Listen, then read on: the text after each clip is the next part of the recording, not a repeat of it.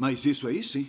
Eu acho isso aí aterrorizante. Ah, Olha, eu adoro armas. ah, essa puxou o pai. Uma verdadeira corsa. Esta aqui, o meu pai me deu quando eu fiz 14 anos.